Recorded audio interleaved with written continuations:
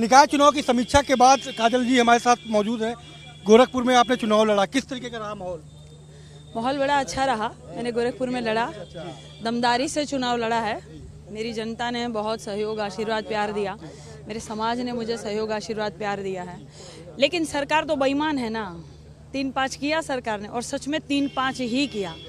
साढ़े तीन लाख वोट का जो पौने पाँच लाख करती हो, सरकार बेईमान हो सकती है। ठीक है ना? और लड़ाई में लड़ूँगी। जिन्हों जिन्होंने जो है जानबूझकर धांधली की है मशीनों में गड़बड़ी की है और अपने जो अ, का वो थे प्रत्याशी उनका तुरंत एक लाख वोट बढ़ा दिया है। तो क्यों क्यों काजल निषाद का मुकाबला नहीं कर पाए? इसका मतलब आदरणीय मुख्यमंत्री जी डर गए। किस चीज़ किस चीज़ का डर लगा? काजल निषाद की मेहनत का डर लगा? या समाज ने साथ दिया उसका डर लगा? या जनता ने मुझे सहयोग आशीर्वाद प्रेम दिया उसका डर लगा? वो होगा। जब काम नहीं करेंगे अपने ही गढ़ में काम नहीं करेंगे तो तीन चार सभा करनी ही पड़ेगी। ज़रूरी है। की बीमारी आप बता रही हैं तो क्या उसको लेकर के कोर्ट भी जाने का? बिल्कुल जाऊँगी मैं। सारी तैयारियाँ कर रही हूँ बिल्कुल कोर्ट जाऊँगी। मेरे पास सारे पुख्ता सबूत है।